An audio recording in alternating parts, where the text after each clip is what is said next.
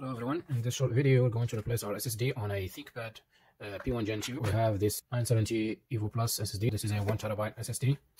I already like tested it uh, using this enclosure here. Let's open up the bottom cover of the laptop. Open up the laptop. These are picture skills. Don't worry about losing them. Then you just lift the back side. I forgot. Must be. And then just lift the plate from the back of your engine. Wow. That's all.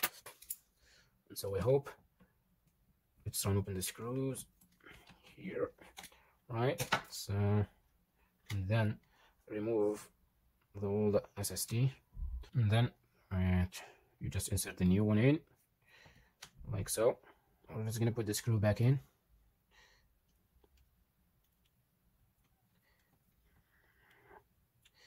Last thing is you put the cover back the bottom cover plate back and you snap snap it over here and then you tighten all the screws. And that's pretty much it. Thank you for watching